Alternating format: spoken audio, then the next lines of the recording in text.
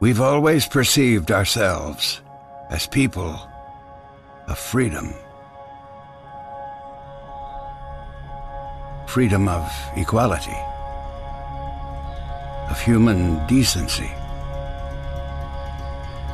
of the right to live without fear. These freedoms have been given to us by many who sacrificed greatly. And somehow we've believed that the war has been won, that we have arrived. But if we open our eyes, we can see that the dream has not yet been fully realized. That there are still battles to fight, still inequalities present,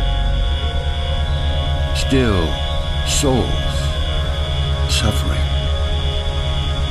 That our faith demands more than awareness, and that no generation is exempt from these battles.